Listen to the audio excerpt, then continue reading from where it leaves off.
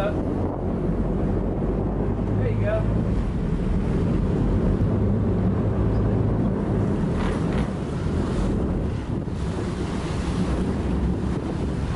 And yeah, I get rid of it.